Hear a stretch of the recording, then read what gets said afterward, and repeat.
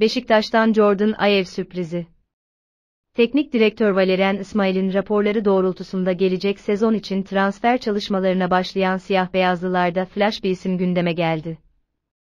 Kartal'ın golcü takviyesi için Jordan Ayev ile görüşmelere başladığı belirtildi. Anlık gelişmeler için lütfen abone olun.